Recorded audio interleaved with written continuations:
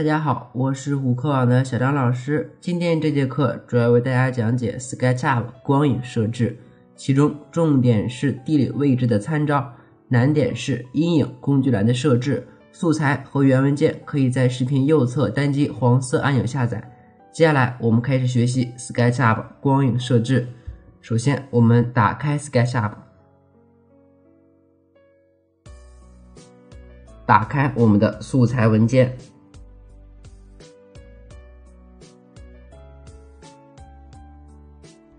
选择光影设置文件，此时我们看到了一个油桶的一个模型。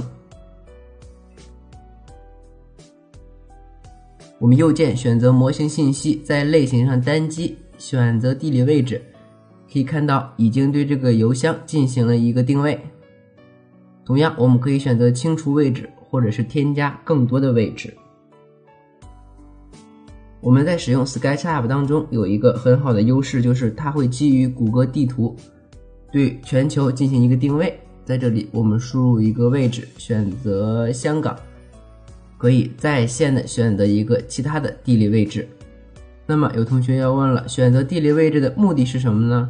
选择好地理位置之后，SketchUp 可以模拟真实的光影角度和强度，方便我们对景观模型进行一个操作。我们可以任意的选取一个地理位置，点击右上角的选取位置，进行放大和缩小，然后点击抓取即可。在这里，我们使用默认的地理位置。在下侧还可以进行一个手动的设置。我们知道某地的经纬度之后，也可以相应的输入一个具体的位置。在这里为大家演示一下，北纬二十六度和东经一百一十八度。好了，完成定位之后，我们可以看到光影进行了一个变化。此时的光影就是刚刚我们设置的东经一百一十八度、北纬二十六度的光影设置。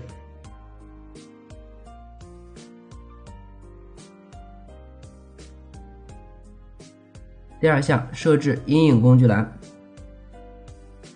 我们选择视图，选择工具，将阴影工具栏调出。阴影工具栏可以对我们的时区。日期、时间等参数进行十分详细的调整。单击第一个按钮可以实现阴影的开启与关闭。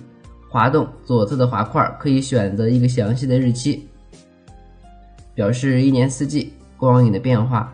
右侧可以选择一天当中光影的一个变化。另外，在默认面板当中，我们也可以对光影进行一个详细的设置。在默认面板，我们选择阴影。右侧的亮度滑块，我们滑动可以调整场景的整体亮度，数值越小，场景越暗。下方的暗也是可以调整场景的亮度，数值越小，阴影越暗。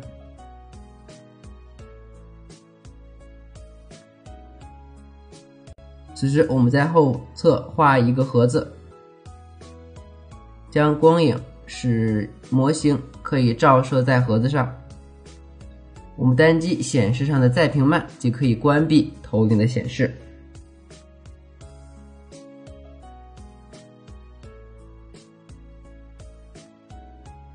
第三项，物体的投影与受影。在现实的物理世界当中，我们除非是特别透明的物体，否则都会在灯光的照射下产生一定的投影。但是为了美化图像，我们通常会隐藏一部分投影。在这个模型里，我们需要将盒子上头模型进行一个隐藏。我们选择前方的模型，右键选择模型信息。如果没有出现下方的框，我们需要点一下显示详细信息按钮，关闭投射阴影，即可以关闭掉我们邮箱的投影。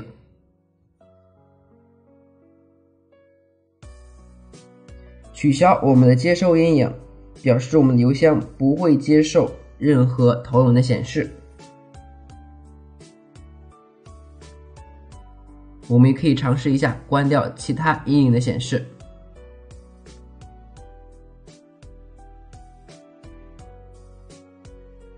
好了，本节课程讲解完成。